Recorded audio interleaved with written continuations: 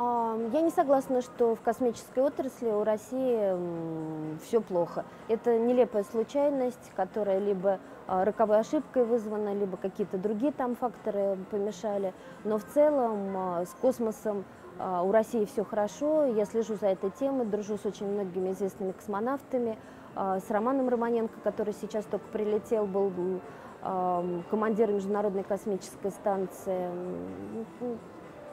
Там все хорошо. Это